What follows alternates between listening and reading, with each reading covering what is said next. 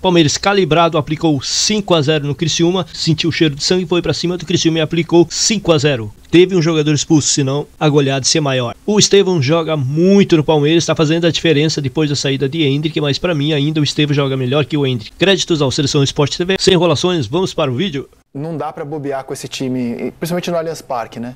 O Criciúma baixou muito a guarda, cara. Baixou muito a guarda ontem. O Palmeiras sentiu o cheiro de sangue, cara, e foi para cima. E, pra, e, no meu entendimento, pensando no saldo, cara, porque foi graças a essa goleada, inclusive, que ele passa o Botafogo no saldo. E o Criciúma é um time que tirou ponto de um monte de gente boa. Quase tirou uhum. ponto do, do, Palmeiras, né? Tava lá, é, lá, lá. É, o Palmeiras foi fazer o gol da vitória nos acréscimos, fez várias boas partidas. A gente viu que, o que faz o Criciúma na competição. Mas aquele gol em menos de um minuto fez completa diferença. Assim. O time do Criciúma ficou atordoado, não saía, sabia se saía, se ficava, e em 17 minutos já estava tomando 3 a 0 E quando saiu, parou no Everton, né? O Everton fez duas defesas bem importantes. É, você vai ver uma delas agora. Então, assim, é, ficou muito difícil. E o Palmeiras jogou muito bem, né, cara? Palmeiras de novo jogou muito bem, guiado pelo Estevão. Mais uma vez guiado pelo Estevão. Quatro vitórias seguidas, né? Quatro vitórias seguidas. A melhor sequência hoje do campeonato e, é a do Palmeiras. E eu acho que não só as quatro vitórias seguidas, mas o, o, a melhora de desempenho que o Palmeiras de fato teve. Porque até o, o momento de ser eliminado né, de Copa do Brasil e de Libertadores, se questionava muito o desempenho do Palmeiras na temporada, né? Oscilações, às vezes ganhava jogos, mas não necessariamente jogando um bom futebol. Aí quando enfrenta o Flamengo na Copa do Brasil, teve críticas assim, né? Porque fez um dos jogos bons, mas se esperava mais desse Palmeiras e o Abel era cobrado desse, desse desempenho. E acho que mostra assim essa, essa, esse alívio do calendário de não ter jogo meio de semana e fim de semana, deu o tempo que o Palmeiras precisava para encaixar os seus reforços, né? Agora o Felipe Anderson também está com um entendimento coletivo muito melhor de, de como o, esse Palmeiras funciona. O Maurício já tá, também está muito entrosado. É, e aí a melhora do desempenho aconteceu. Essas quatro vitórias vieram com um bom desempenho. E nesse, nesse desenho que você citou, Rafael, Rafael Veiga, banco. Ontem ele fez o gol de número 50 dele, ele é o artilheiro do Allianz Parque, jogador importantíssimo do Palmeiras. Mas com o Abel, não interessa, cara, o nome, os números. Ele escala quem ele entende ser o melhor do momento e o Veiga, nesse momento, é banco desses jogadores. É Estevam na direita, Felipe Anderson é, na esquerda, o Maurício e o Flaco. É o quarteto ofensivo dele. Com essa opção extraordinária que é ter o Veiga saindo do banco porque você precisa de muito elenco, ainda que você jogue só um campeonato. O Maurício é um cara que dá apoio para todos os lados do campo, né? se movimenta bem e tal. Fez a melhor partida dele ontem. Para tudo é preciso paciência. O Abel falou sobre isso ontem. O, o próprio... E a expulsão do Caio Paulista, né? Expulsão boba, né? Jogo já é. decidido. Ele decide fazer uma falta, né? trocar a falta pelo gol, uma bobagem. O Everton poderia perfeitamente é, ter defendido, ou até feito gol mesmo. O prejuízo seria menor do que a expulsão do Caio Paulista e ele foi é, bem expulso com o auxílio do VAR. Isso era a primeira parte do segundo tempo ali, então tirou um pouco do Palmeiras aquele apetite que é, você falou. Tava 4 a 0 uma falta boba, cara, é. boba. E aí o Veiga já entrando no time fazendo o quinto gol de falta. E o Criciúma não conseguiu, cara, mesmo com a mais e mesmo é, com a necessidade. O Cristiano ficou naquela dúvida, né? Eu parto para cima, é. diminuo meu prejuízo ou aumento o meu prejuízo? Ele ficou na, no meio do caminho, acabou não acontecendo nada também com o Criciúma. Correu, o bicho pega. É, ficou bem no meio do caminho, é, assim, quando você olha para o lado de lá e você vê Estevão, que é. puxa contra-ataque como é. poucos, não é fácil você se abrir também, né? O tá... maestro Estevam, ele, o Estevam, ele tá com nove gols. Ou seja, ele é dos jogadores em atividade no campeonato o que tem mais gols, porque o Pedro, que tem 11, que é o artilheiro, não joga mais. Então, assim, dos que estão em atividade, ele é o artilheiro do campeonato, cara. E tá difícil de definir o tamanho. Claro que tá, é um menino, você não vai dar tamanho para ele agora, nem definir nada. Eu não quero definir, nem quero botar rótulo nele. Mas é que o tamanho dele está começando a, a, a colocar cada vez mais a comparação no alto, assim, né? Ainda há pouco a gente comparava com o Hendrick, a sensação que se tem é de que o Hendrick já não é mais o ponto de comparação que se pode fazer com ele. Então a gente começa a colocar comparações com Neymar quando começou a carreira, comparação com grandes jogadores quando começaram a carreira.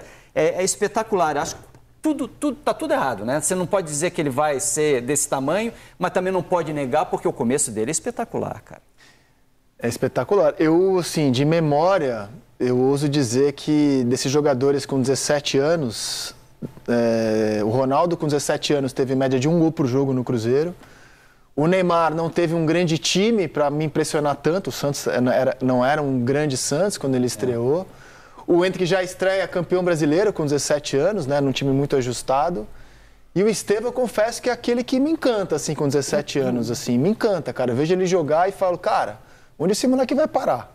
Porque a gente vê uma evolução gradual no, no Estevam, né? Por exemplo, ele não é mais aquele jogador que fica para lado, do lado direito fixo. A gente já viu uma movimentação nele uhum. em campo que dá para ele exatamente externar todo o seu potencial. E ele não tem esse negócio do egoísmo. Tipo, se tiver um companheiro mais bem colocado, ele dá essa rolada para o cara fazer o gol. Isso eu acho que é uma coisa para a idade dele, para o que ele vai aprender, a maturidade do que vai crescendo. Realmente a gente não, não dá para a gente colocar onde ele vai chegar. Mas que, que ele vai chegar, vai. Eu acho que a gente tem que mensurar depois aonde ele vai chegar. Esse tipo de comparação, é lógico que vai acontecer pela idade, né? Neymar, Ronaldo. Mas esses caras já chegaram.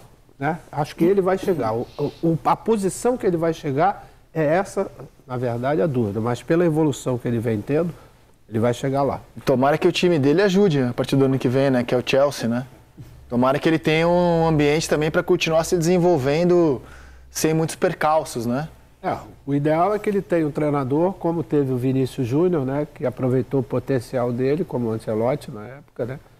Porque se pegar um treinador que obrigue ele a correr atrás de lateral o tempo todo, você vai tirar dele uma arma mortal para os adversários, que é exatamente a, o mano a mano, a puxada de contra-ataque. Agora você vê, é, ele com 17 anos, cara, já é um jogador de seleção brasileira. Tipo assim, eu já vejo ele estabilizado. Assim, a próxima convocação, por exemplo, Acho que todo mundo espera o Estevão na lista. Em lista, sim. Né? Estabilizado. É, tem uma concorrência ainda... que não é fácil, né, é. André? Que o é, Savinho... Porque, exatamente. A oposição. Mas vocês imaginam ele saindo da lista Luiz na próxima data não, FIFA? Não, imagino. imagino. Acho que ele é um jogador consolidado em lista. Eu falo, porque daqui a pouco, por exemplo, né? se acontece com ele o que aconteceu com o Vinícius, que vai para um, né, para um Real B, para um Real Castilha, que se adapta, que precisa passar por um períodozinho de ajuste e tal. Se ele não consegue ter no Chelsea espaço para a sequência que ele precisa ter. Se o Chelsea bota na cabeça que é um muito jovem e precisa rodar ainda, vai, vai botar ele para rodar em um outro clube menor. A gente não sabe as circunstâncias. A capacidade técnica dele é para estar tá nessa lista. Esse lado ainda tem, ainda pode ter o Rodrigo, né, esse lado do campo, o próprio Rafinha. Tem muito cara bom ali. Então é, é difícil você imaginar e ele é um pé esquerdo, né? É um jogador que puxa a bola para dentro e bate como só, ninguém. Só de concorrência ele tem Savinho, é, Rafinha e Luiz Henrique, que são três canhotos que jogam uhum. também por aquele lado e jogam bem. A novidade é o, é o Rafinha, que estava suspenso de um dos jogos, né? Mas o Estevão já havia sido chamado com o Savinho, depois o Savinho foi cortado. A novidade é que agora tem a volta, provável volta do Rafinha. Quem que sai? Eu acho que o Estevão não sai, cara. O Nem Rafinha o Luiz também está jogando do outro lado, né? O Rafinha está ficando, como Sim. o Yamal está pela direita, ele está jogando mais Sim. pela esquerda. De repente ele empresta. Eu acho até mais fácil sair o Paquetá da lista, por exemplo, do que o Estevão nesse momento. Sim, Pela acho... bola que eu, que eu não vejo o Paquetá jogar na seleção. Não que eu estou dizendo que o Paquetá tenha que sair.